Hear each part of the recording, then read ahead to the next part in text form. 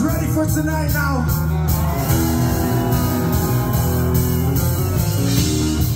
Cause yeah, we're running a little bit hot tonight.